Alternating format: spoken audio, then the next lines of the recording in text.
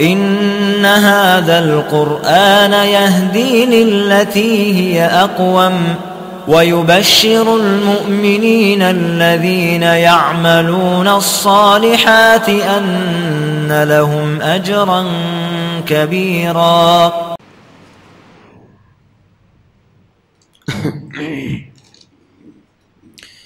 السلام عليكم ورحمة الله وبركاته. الحمد لله وحده والصلاة والسلام على من لا نبي بعده.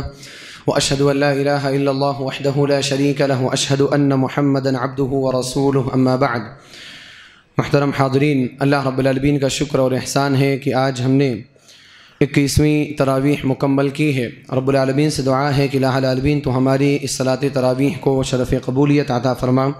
آمین۔ محترم حاضرین، آج کی تراویح کی نماز میں اکیسواں پارہ اور بائیسویں پارے کا ربع یعنی سوا پارہ تلاوت کیا گیا۔ اکیسویں پارے میں سورہ عنکبوت کا بقیہ حصہ ہے، پھر اس کے بعد سورۃ الروم ہے، پھر سورہ لقمان ہے، پھر سورہ سجدہ ہے، پھر سورہ احزاب ہے۔ اللہ رب العالمین نے سورۃ العنکبوت کی آیت نمبر پینتالیس اور اکیسویں پارے کی پہلی آیت میں فرمایا اتل ما اوحی الیک من الکتاب واقم الصلاة. اے نبی صلی اللہ علیہ وسلم، وہ کتابیں وہ کتاب کریم جو آپ کی طرف وحی کیا جا رہا ہے، آپ اس کی تلاوت کیجیے یعنی قرآن کریم کی تلاوت کو اپنا مشغلہ بنائیے۔ اتل ما اوحی من اتل ما اوحی الیک من الکتاب واقم الصلاة، اور نماز کی پابندی کیجیے نماز کو قائم کیجیے ان الصلاة تنہا عن الفحشاء والمنکر کیونکہ نماز برائیوں سے اور غلط چیزوں سے روکتی ہے۔ وَلَذِكْرُ اللَّهِ اکبر اللہ رب العالمین کا ذکر بہت بڑا ہے۔ واللہ یعلم ما تصنعون، اور اللہ رب العالمین بخوبی جانتا ہے ان تمام اعمال کو جو تم انجام دیتے ہو۔ اس آیت کے اندر اللہ رب العالمین نے نبی صلی اللہ علیہ وسلم کو حکم دیا ہے دو چیزوں کا۔ پہلی چیز، قرآن کریم کی تلاوت کیجیے اور دوسری چیز نمازوں کی پابندی کیجیے۔ اللہ کے رسول صلی اللہ علیہ وسلم کے ذریعے سے امت کو یہ حکم ہے۔ اللہ رب العالمین نے بہت سارے احکام نبی علیہ صلاۃ والسلام کو مخاطب کر کے امت کو دیے۔ مثال کے طور پر اللہ رب العالمین نے فرمایا، لئن اشرکت لیحبطن عملک ولتکونن من الخاسرین۔ اے نبی صلی اللہ علیہ وسلم، اگر آپ شرک کریں گے تو آپ کا عمل بھی برباد ہو جائے گا اور آپ بھی گھاٹا اٹھانے والوں میں سے ہو جائیں گے۔ نبی علیہ صلاۃ والسلام شرک کرنے والے نہیں تھے۔ لیکن اللہ رب العالمین نے اس حکم کے ذریعے سے امت کو یہ پیغام دیا ہے کہ جب ایک نبی کے بارے میں بھی ایسی بات کہی جا سکتی ہے تو تم کہاں کے ہو؟ اللہ رب العالمین تمہارے اعمال کو تو ایسے ہی برباد کر سکتا ہے اگر تم نے شرک کیا۔ یہاں پر بھی اللہ رب العالمین نے خطاب نبی کو کیا ہے، لیکن پیغام دینا مقصد کس کو ہے؟ ہم امتیوں کو. اتل ما اوحی الیک من الکتاب. قرآن کریم کو پڑھیے. واقم الصلاۃ اور نماز قائم کیجیے.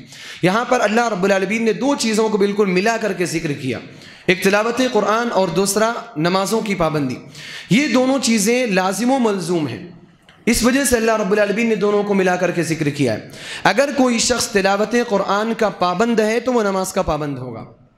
اور اگر کوئی شخص نماز کا پابند ہے تو وہ تلاوت قرآن کا بھی پابند ہوگا. تلاوت قرآن سے بھی اس کے اس کو محبت ہوگی۔ دونوں میں سے ایک چیز کی اگر پابندی نہیں ہوگی تو دوسرے چیز کی پابندی نہیں ہو سکتی۔ اس وجہ سے اللہ رب العالمین نے دونوں چیزوں کو ایک ساتھ ذکر کیا کہ قرآن سے رشتہ جوڑو، نماز سے رشتہ اچھا ہو جائے گا۔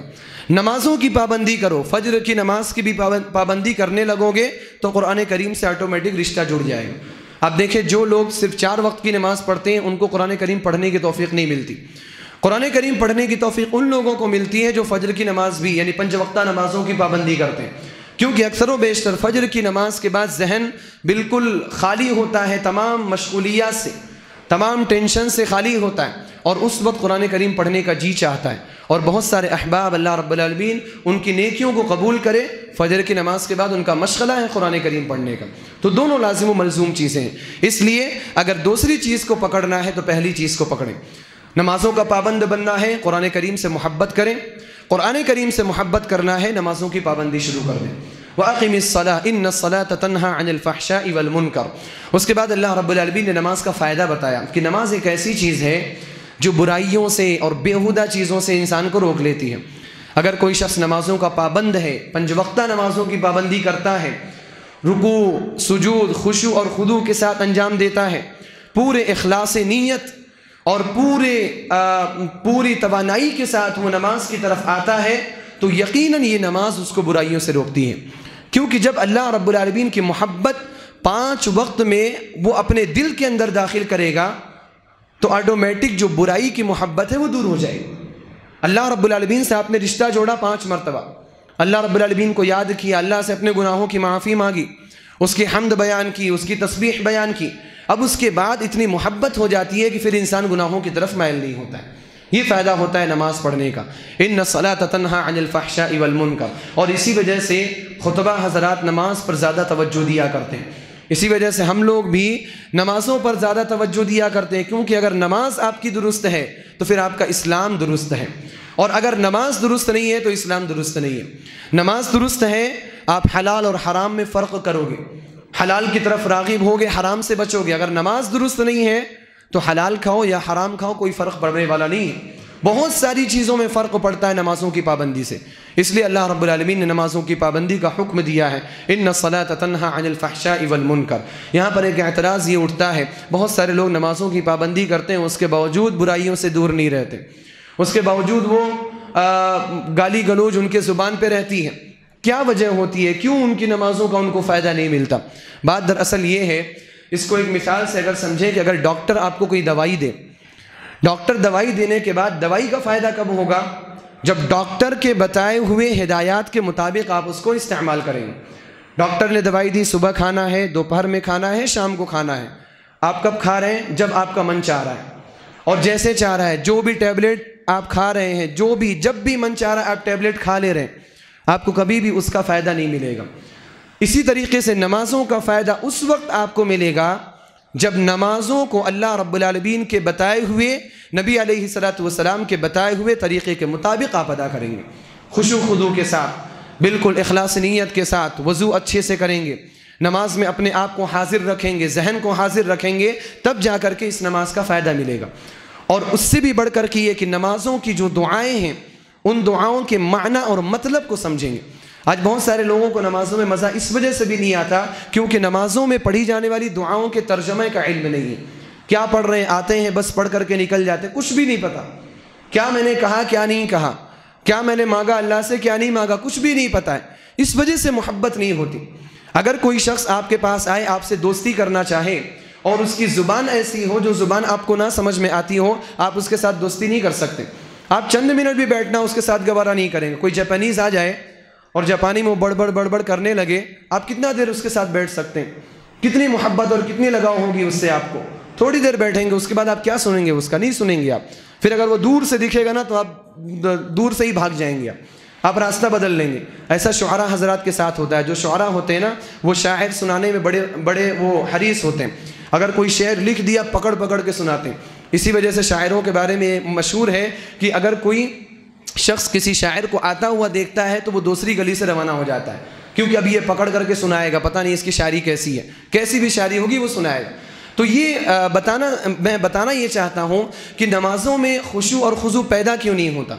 اس وجہ سے پیدا نہیں ہوتا کیونکہ ہمیں معلوم نہیں ہے کہ اللہ باعد بینی و بین خطایا کما باعدت بین المشرق والمغرب کا معنی کیا ہے۔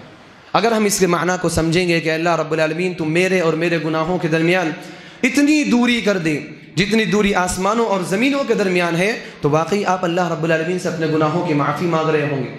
آپ اللہ رب العالمین کی تعریف کرتے ہیں سبحان اللہ العظیم، سبحان ربی العلیٰ آپ کو پتہ نہیں ہے کیا معنی ہوتا ہے اس کا۔ اس لیے نمازوں کے ترجمے کو، اس کی دعاؤں کے ترجمے کو جاننے کی کوشش کیجیے آج بہت آسان ہے ترجمہ سیکھنا۔ حسن المسلم آپ کے پاس موجود ہے، اردو میں موجود ہے۔ دعاؤں کے ترجمے آپ کے پاس موجود ہیں۔ ان ترجموں کو آپ سیکھیں گے، تب جا کر کے آپ کی نماز میں آپ کو فائدہ ملے گا۔ وَلَذِكْرُ اللَّهِ اکبر اللہ رب العالمین نے فرمایا کہ اللہ کا ذکر بہت بڑی چیز ہے۔ واللہ یعلم ما تصنعون اور اللہ رب العالمین جانتا ہے ان تمام اعمال کو جو تم کیا کرتے ہو۔ یہ جو آخری کا ٹکڑا ہے۔ وَلَذِكْرُ اللَّهِ اکبر واللہ یعلم ما تصنعون۔ یہ ہم ہر خطبے کے اخیر میں سنا کرتے ہیں۔ ہر خطبے کے اخیر میں، وَلَذِكْرُ اللَّهِ اکبر وَاللَّهُ يَعْلَمُ مَا تَصْنَعُونَ۔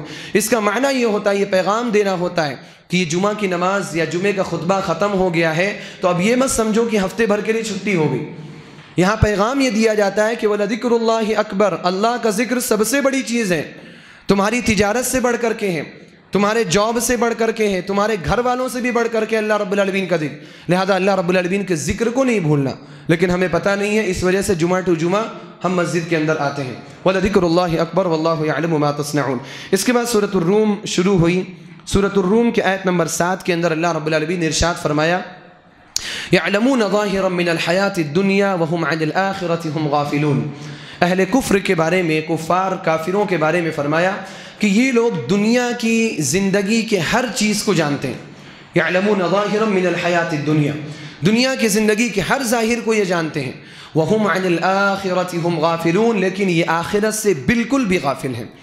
علامہ شنقیتی رحمہ اللہ نے اپنی تفسیر اضواء البیان کے اندر لکھا، ہر مسلمان کو چاہیے کہ وہ اس آیت میں غور و فکر کرے۔ ہر مسلمان کو چاہیے اس آیت پہ رکے اور غور و فکر کرے کہ اللہ رب العالمین کیا پیغام دینا چاہتا ہے۔ یہاں اللہ رب العالمین نے یہ پیغام دیا ہے کہ بہت سارے لوگ ایسے ہوتے ہیں، دنیا کا ہزار علم ان کے پاس ہے۔ بہت علم ہے دنیا کا ان کے پاس، لیکن آخرت کا ذرہ برابر بھی علم نہیں ہے۔ حسن بصری رحمہ اللہ نے اس آیت کی تفسیر کرتے ہوئے فرمایا، کچھ لوگ ایسے ہوتے ہیں، اتنے ماہر اتنے ماہر کہ اگر ان کے ہاتھ میں درہم دے دیا جائے، تو وہ درہم کو اپنے ہاتھ پہ اٹھا کر یا اپنی ایک انگلی پر اٹھا کر کے اس کا وزن بتا دیں گے۔ اتنے ماہر ہوتے ہیں۔ لیکن وہ شخص ایسا ہوتا ہے کہ اس کو صحیح سے نماز پڑھنا بھی نہیں آتا ہوگا۔ نماز کی دعائیں بھی نہیں آتی ہوں گی۔ آج ہمارے یہاں، ہمارے معاشرے میں دنیاوی تعلیم حاصل کرنے والے بہت سارے لوگ ہیں۔ لیکن کیا ان کو دین کا علم ہے؟ میں زیادہ توجہ اس بات پر اسی لیے دیتا ہوں۔ بہت سارے لوگ آج یہ مانتے ہیں کہ آج جو مسلمان کمزور ہیں یا پچھڑے ہوئے ہیں یا ان کو دبایا جا رہا ہے، وہ اس وجہ سے کہ مسلمانوں کے اندر دنیاوی تعلیم کی کمی ہے۔ لوگ یہ بولتے ہیں کہ مسلمانوں کے یہاں ڈاکٹرز نہیں ہیں۔ مسلمانوں کے یہاں انجینئرس نہیں ہیں، مسلمانوں کے یہاں پولیٹیشنس نہیں ہیں۔ اس وجہ سے مسلمانوں کو دبایا جا رہا ہے اس وجہ سے مسلمان کمزور ہیں۔ اللہ رب العالمین کی قسم، مسلمان اگر کمزور ہیں تو وہ اس وجہ سے نہیں ہے بلکہ اس وجہ سے ہیں کہ ان کے پاس دین کا علم نہیں ہے۔ اللہ رب العالمین نے ہر جگہ یہ وعدہ کیا ہے کہ اے لوگوں، اگر تمہارا ایمان صحیح رہے گا اور تمہارا عمل درست رہے گا تو میں تمہیں زمین میں طاقت اور قوت عطا کروں گا۔ کہ اللہ رب العالمین نے یہ جھوٹا وعدہ کیا ہے۔ وعد اللہ الذین آمنوا منکم وعملوا الصالحات لیستخلفنہم فی الارض۔ اللہ رب العالمین نے وعدہ کیا، اگر تمہارا ایمان صحیح رہے، تمہارا عمل صحیح رہے، اللہ رب العالمین زمین میں خلافت تمہیں دے گا۔ اور اللہ رب العالمین تمہارے خوف کو دور کر کے امن پیدا کر دے گا۔ جو ڈرے ہوئے ہیں ہم لوگ، کیوں ڈرے ہوئے ہمارا ایمان کمزور ہے۔ آج ہم یہ نہیں بولتے کہ حسبنا اللہ و نعم الوکیل۔ ہمارا ڈر یہ ہے کہ فلاں جیت گیا، فلاں ہار گیا۔ اس ان چیزوں سے کبھی بھی نہیں ڈرنا چاہیے اور ان چیزوں سے مسلمان کبھی بھی نہیں ڈرا اور جتنی بھی پارٹیاں ہیں، وہ سب کفر کی پارٹیاں، کوئی مسلمانوں کی پارٹی نہیں۔ کیوں کیوں انسان پریشان ہوتا ہے؟ کیوں مسلمان پریشان ہوتا ہے؟ مسلمان کو پریشان اپنے عمل پر ہونا چاہیے۔ اگر آپ کا عمل درست ہے، ہمیشہ اللہ رب العالمین آپ کے دل میں امن رکھے گا، کبھی بھی خوف نہیں آئے گا۔ بلکہ اللہ رب العالمین آپ کے اندر ایسا رعب پیدا کرے گا کہ دور سے لوگ آپ کا نام سن کر کے کام جائیں گے۔ اللہ کے رسول صلی اللہ علیہ وسلم کی مدد کی گئی تھی. نصیر تو بالرعب مسیرت شہری ایک مہینے کی مسافت پر ہوتے تھے. اگر نبی علیہ السلاۃ والسلام کا نام کسی کو پتا چل جاتا تھا تو اس کے چولے ہل جایا کرتے تھے. اس کے پیر کانپ جایا کرتے تھے. کیوں؟ ایمان مضبوط تھا، عمل مضبوط تھا. تو اس لیے اگر آج کسی چیز کے مسلمانوں کے یہاں کمی ہے تو وہ علم دین کی کمی ہے. بہت سارے لوگ یہاں اس مجلس میں بھی بیٹھے ہوئے ہیں. بہت ساری چیزوں کا علم نہیں ہے. رمضان المبارک کا مہینہ چل رہا ہے۔ کن چیزوں سے روزہ ٹوٹتا ہے، کن چیزوں سے روزہ نہیں ٹوٹتا، یہ بھی چیزیں پتہ نہیں ہے نماز میں نماز پڑھنے کا طریقہ بھی صحیح طور پر پتہ نہیں ہے۔ کیوں؟ اس وجہ سے کیونکہ ان کا ان کی توجہ دین علم کی طرف نہیں یعلمون ظاہرا من الحیات الدنیا۔ دنیا کی زندگی کے بارے میں بہت جانتے ہوں گے۔ آپ کمپیوٹر اٹھا کر کے دے دو، پورا کھول کھال کر کے، پورا سب بنا کر کے رکھ دیں گے آپ کے سامنے۔ لیکن وضو کرنے میں کیا رکن ہے، کیا واجب ہے، کیا شرط ہے، نہیں پتہ ہے۔ میرے بھائی اور دوستو بات کڑوی نہیں ہے، بات حق کی ہے۔ ہمیں ہماری جو کمزوری ہے، وہ علم دین کی کمزوری ہے ہمیشہ۔ آج ہمارے یہاں علماء کی کمی ہے، صحیح علماء کی۔ علماء کے نام پر بہت سارے لوگ موجود ہیں، لیکن وہ اکثر و بیشتر لوگوں کو گمراہ کر رہے ہیں۔ صحیح منہج کی اور صحیح دین کی تعلیم کوئی بھی نہیں دے رہا۔ اللہ ماشاء اللہ چند لوگ ہیں جو صحیح منہج اور صحیح دین کی تعلیم دے رہے ہیں۔ علماء کی شدید کمی ہے، اس لیے ہمیں علماء پیدا کرنے کی طرف توجہ کرنا چاہیے، نہ کہ یہ چیزیں۔ کیونکہ علماء پیدا ہوں گے، دین کا صحیح علم بتائیں گے۔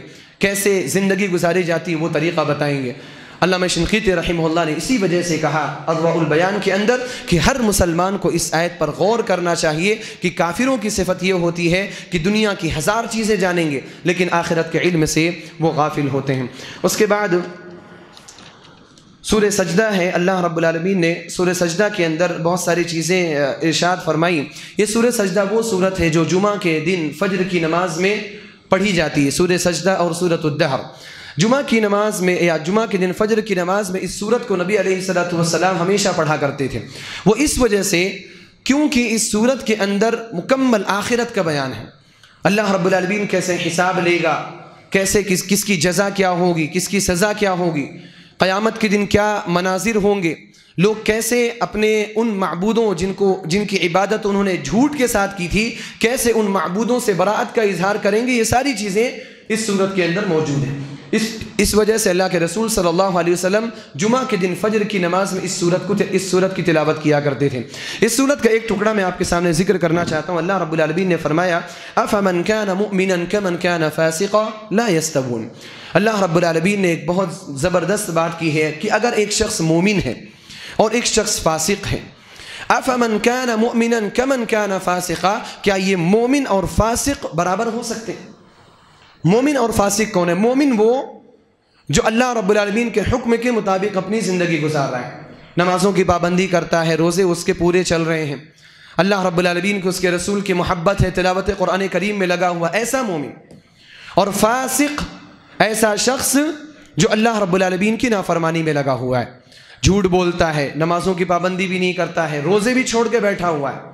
صدقات اور زکوٰۃ بھی ادا نہیں کرتا ہے۔ کیا یہ دونوں برابر ہو سکتے ہیں؟ ہم نے برابر سمجھ لیا ہے۔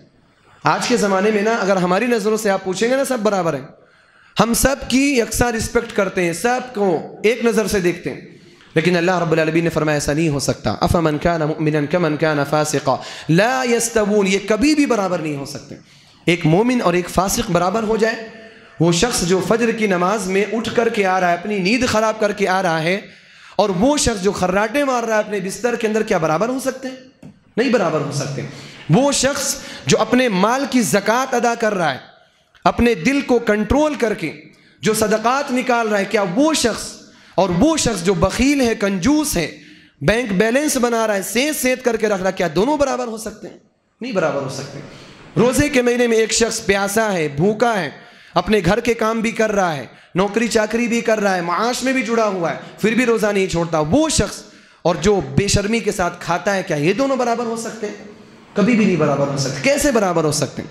اگر دونوں برابر ہیں، دونوں کا انجام برابر ہے، تو پھر اللہ رب العالمین کے انصاف کی کیا بات ہے؟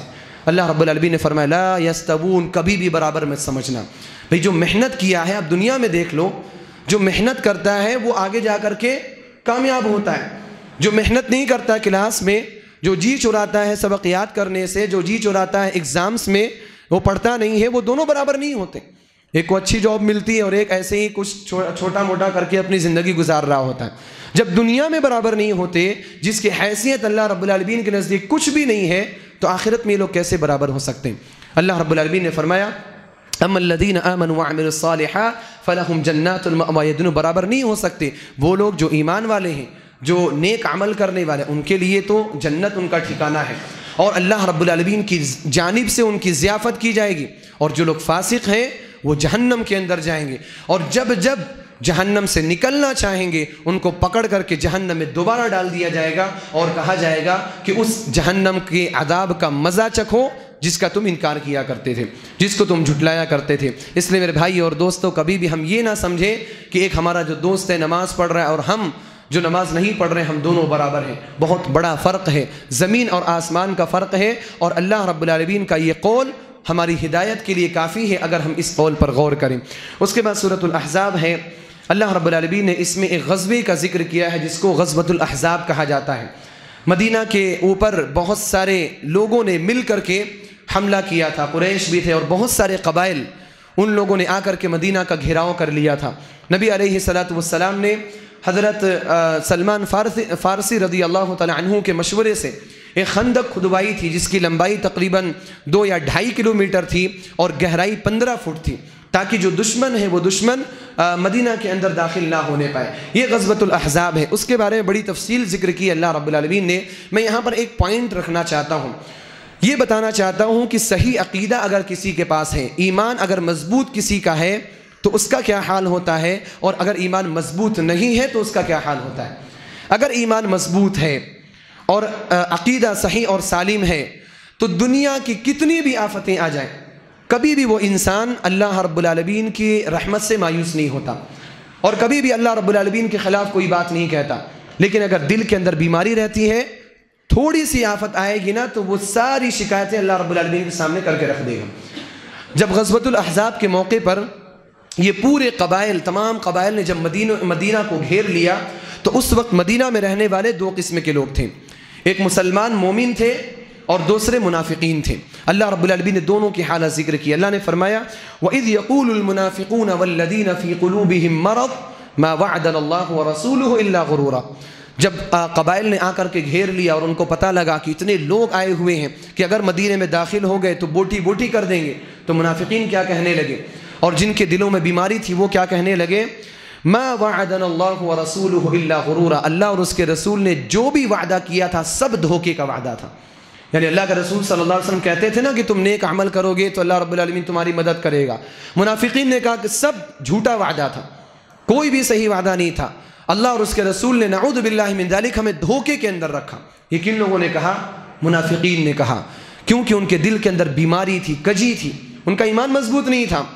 لیکن دوسری طرف جو اہل ایمان تھے، اہل ایمان کی بھی حالت خراب تھی۔ اللہ رب العالمین نے اس خراب حالت کا ذکر کرتے ہوئے فرمایا هُنَالِكَ بْتُلِيَ الْمُؤْمِنُونَ وَزُلْزِلُوا زِلْزَالًا شَدِيدًا اس وقت مومنوں کی سخت آزمائش ہوئی تھی اور سخت طور پر ان کو جھنجھوڑ کے رکھ دیا تھا۔ اللہ رب العالمین نے زلزلے کا ذکر کیا ہے۔ یعنی مومنوں کے اوپر بھی زلزلہ آ گیا تھا کہ پورے قبائل نے ہمیں گھیر لیا ہے۔ لیکن اس کے باوجود ان کی زبان سے کیا نکلا؟ اللہ نے فرمایا، وَلَمَّا رَأَ الْمُؤْمِنُونَ الْأَحْزَابِ جب اہل ایمان نے ان قبائل کو دیکھا، کیا کہا؟ قالوا هذا ما وعدنا الله ورسوله۔ یہی تو وہ ہے کہ جس کا وعدہ اللہ اور اس کے رسول نے ہم سے کیا تھا۔ دیکھ رہے ہیں آپ، ایمان ہے تو کیسا؟ یہی وہ ہے یعنی مشرقین تمہارے اوپر آئیں گے، ان سے جنگ لڑنی پڑے گی، اسی کا وعدہ تو اللہ اور اس کے رسول نے کیا تھا۔ پہلے کہہ دیا تھا اللہ اور اس کے رسول نے کہ اللہ رب العالمین تمہیں آزمائے گا۔ کافروں کے ذریعے سے مشرقین کے ذریعے سے تمہارے اوپر آ جائیں گے، اللہ رب العالمین تمہاری آزمائش کرے گا۔ یہی تو ہے۔ هذا ما اللہ و رسول اور پھر انہوں نے کیا کہا؟ وصدق اللہ و رسول اللہ اور اس کے رسول نے سچ کہا تھا۔ اللہ اللہ نے کہا تھا کہ تمہیں آزماؤں گا، اللہ نے آزما لیا۔ اب آ گئی یہ قبائل۔ وما زادهم الا ایمانا وتسلیما۔ اور یہ جو قبائل آئے، یہ جو جنگ ہوئی، اس جنگ نے مومنوں کے ایمان میں اور مومنوں کی سپردگی میں صرف اور صرف اضافہ کیا۔ ان کا ایمان اور بڑھا، ان کا ایمان کمزور نہیں ہوا۔ یہ فرق ہوتا ہے منافقین کے درمیان اور یہ فرق ہوتا ہے اہل ایمان کے درمیان۔ فرق یہ ہے، عقیدہ صحیح ہے، عقیدہ درست ہے، عقیدہ منہج صحابہ کے مطابق ہے۔ کتنی بڑی سے بڑی پریشانی آ جائے گی۔ اللہ رب العالمین پر توکل ہے، بھروسہ ہے، ساری چیزیں اللہ رب العالمین کے سپرد کر دیتے ہیں۔ لیکن اگر دل میں کجی ہے، بیماری ہے، تو پھر انسان ادھر ادھر کی بکنے لگتا ہے۔ کہ بھئی میرے ساتھ ایسا ہو گیا، میرے ساتھ ویسا ہو گیا، یہ اہل نفاق کی علامت ہے، اہل ایمان کی علامت نہیں ہے۔ اللہ رب العالمین سے دعا ہے کہ الہ العالمین تو ہم سب کو اس بات کی توفیق ادا فرما کہ قرآن کریم کے مطابق ہم زندگی گزاریں۔ الہ العالمین ہمارے دلوں سے نفاق کو، شرک کو، حسد اور کینہ کپڑ، ان تمام برائیوں کو دور فرما دے۔ الہ العالمین ہمارا ہمارے دل کو اہل ایمان کے لیے اور اسلام کے لیے صاف فرما دے۔ آمین۔ واخر دعوانا الحمد للہ رب العالمین۔ والسلام علیکم ورحمۃ اللہ وبرکاتہ۔ يا أيها الذين آمنوا كتب عليكم الصيام كما كتب على الذين من قبلكم لعلكم تتقون